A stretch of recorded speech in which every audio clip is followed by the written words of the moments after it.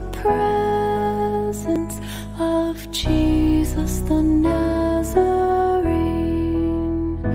and wonder how he could love me, a sinner condemned unclean. How marvelous, how